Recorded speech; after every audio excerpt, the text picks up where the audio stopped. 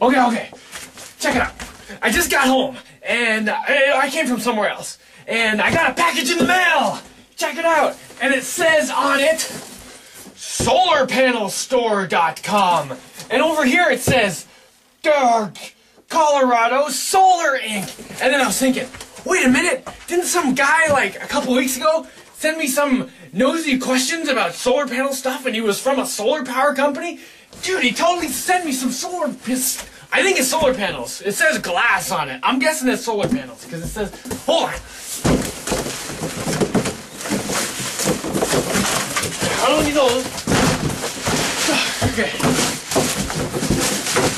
Leave that in there. Okay. Oh no way! Check it out! Bubble wrap! oh wait, there's other stuff in there too. Check it out. Ugh. oh, someone sent me solar panels. That's so awesome. How awesome is that?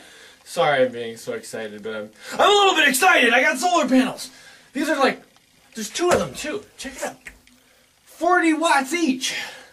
That's super excellent. Tomorrow I'm gonna have to show you how to like hook them up. Oh wait, there's another thing I just saw come out of here when I was. Where'd it go? Oh, here it is. Ah, I forgot where I put it. There's a little box. Can't see it here because it's dark and I don't have that many lights on. But anyway, whoa, cool. It's a solar charge regulator. And I can show you how to. That's awesome. Whoa, that looks like way fancier than mine. I can like show you how to hook up, that up tomorrow too. Anyway, yeah, I'm gonna like make a video about all this junk tomorrow. Sweet. Yeah, so like seriously, if you want like free solar panels, all you have to do is like build a giant robot for like several years and a giant workshop, and then like start an adventure building club movement, and then people send you free solar panels. Uh, okay, it's probably easier to just buy them, but then you don't get the giant robot. So yesterday I got these solar panels from these guys. Well, these guys over here, solarpanelstore.com. Talk about an awesome present. Anyway, so this is what's on the back of the solar panel, and this is where you connect your wires. You know, for anyone who doesn't know how these work. And uh, don't ever let anyone tell you that you need like an expert to install solar panels, because like if you can put batteries in like your electronic devices, you can install solar panels. Uh, now, if you put your batteries in your electronic equipment backwards and break your electronic equipment, you might want to get someone else to do it. But if you can handle that, you can handle solar panels. Anyway, so back here we've got where you connect your wires. And you can ignore this middle part. Um, they come with instructions if you want to do something other than a 12 volt system. But anyway, uh, if you look up here, there's a plus. And if you look over here, there is a minus. So I mean, all you don't really have to know any electronics. You just have to know that this side is the plus and this side is the minus. And when you connect your wires, you want to connect one over here and one over there, and that one's a minus and that one's a plus. Real complicated, yeah. Okay, and this is the charge controller I got. And I've never used one of these before, so you'll just get to see what happens from scratch. I'm pretty sure this bottom part comes off, so I'm just gonna open it. Oh, yeah. And look. Okay, and as we can see in here, there is, oh, they have little nice little pictures under these spots where wires can go in. And you stuff a wire in and then tighten the screw and it holds the wire and makes a good connection. And here we've got a solar panel picture and a, a negative. So, oh look, you hook a wire from this to the negative on the solar panel. And then over here, there's another solar panel with a positive, and you hook the wire, put a wire in here, and run it over to the positive in the solar panel. And then there's a battery with a negative here, and you hook that to the negative part of the battery, and a battery positive over here, and it's pretty self-explanatory. Seriously, like a monkey could do it, as long as he could read pluses and minuses. Although, even though it's all pretty self-explanatory. It's good to get the instructions and go over them real quick just to make sure you don't like hook it up and break something. Like for instance, I saw something when I was just looking at it for a minute earlier.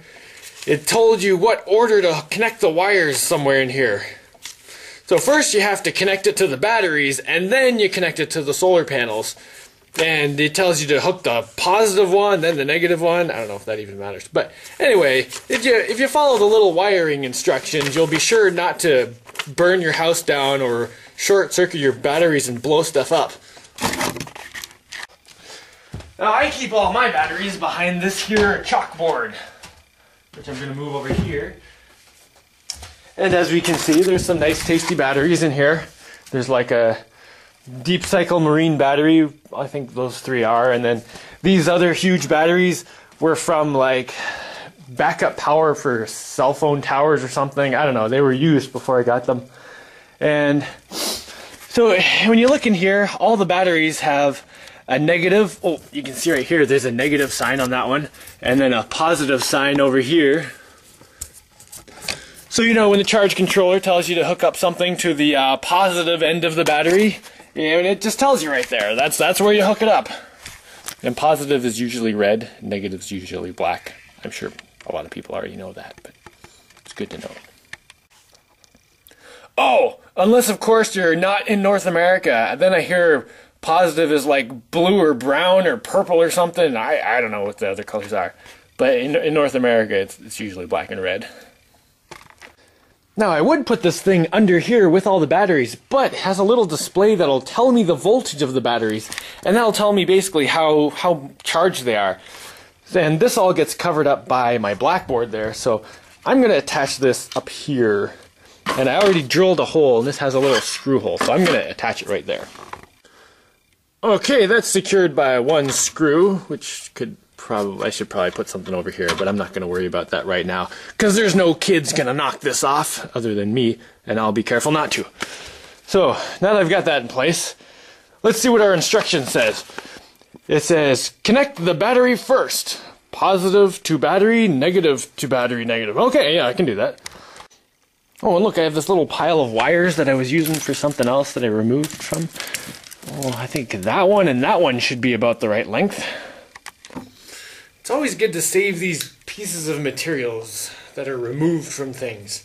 Because this could have easily been garbage, but now it'll have this wonderful use as some solar panel wiring. There's our little negative battery picture. So let me hook up my negative wire there into the thing and tighten it so it doesn't move. Excellent. So here's the plus wire, and I'm going to connect that to my thingy here.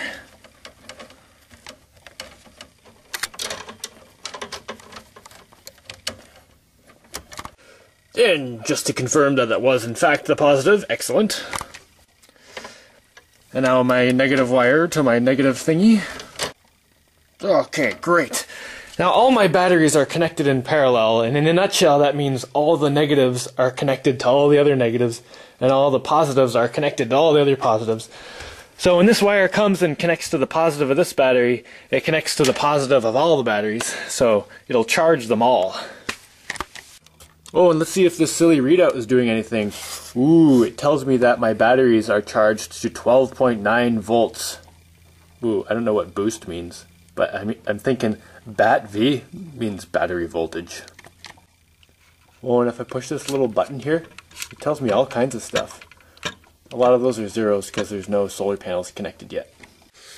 Okay, next, connect the negative wire from the solar panel to the solar panel negative terminal. Oh, on the thing. Okay. And I have a solar panel up here already in the sun, and I'm gonna go hook up some wires to it. Oh, and it might seem silly to put a solar panel in a window, but I'll put them up on the roof like when there's no ice up there. But you know, for the for the winter, I'm just gonna stick them in the window. As as you can see, there's lots of windows and lots of sun coming in. So here's my wire connected to my negative spot, and it's coming out. And I guess I can hook that right into my negative solar panel thingy here. All right, I'm all out of pre-cut wires. So I need to go to my little roll of wire here. Okay, and there's my positive wire going in there. and let's check. If I push the button, it says charge 0.8 amps. That must mean it's working. 0.7. Oh, there's some clouds out there. I think it'll go up in a minute. So other than that, I mean, there's not much to it. I mean, there it's working. Um, there are like details you need to know, like this charge controller says on it it has a 20 amp maximum rating, so you can't put more than 20 amps worth of solar panels through it, or else it'll burn it out. And uh, yeah, know, what else do you need to know? The thicker wires you have, the less energy you lose. Other than that, yeah, that's, that's pretty much it. Nice. Well, I'm going to go slap this other one up there somewhere. Maybe at this window. And uh, really, I can just run the positive of this to the positive of this solar panel because, you know, the positive of that will just go right into the thing, and the positives of both will go. And then I can hook the negative of this to the negative of that. So I don't actually have to have the wires going all the way from over there to the charge controller. You can just go and then piggyback off these wires. Excellent. Nice. Sweet. Okay, I'm about to take off, but before I go, I just had to say that I'm so appreciative to everyone who's been like super supportive of like the stuff I do here and like the Adventure Builders Club. And you know, people people send me stuff once in a while and donate money and it's really really helpful and it's just super great. Like here, I have more solar panels. That means I'll be able to spend more time uploading videos because on really cloudy weeks, which this isn't obviously, which is awesome. But like when when a week of clouds comes by, I'll just run out of electricity and I won't be able to, you know, video things because I won't have any uh, enough electricity to spare because I don't want to run out of like lights at night and stuff. But you know, stuff like this really helps a lot and thank you so much.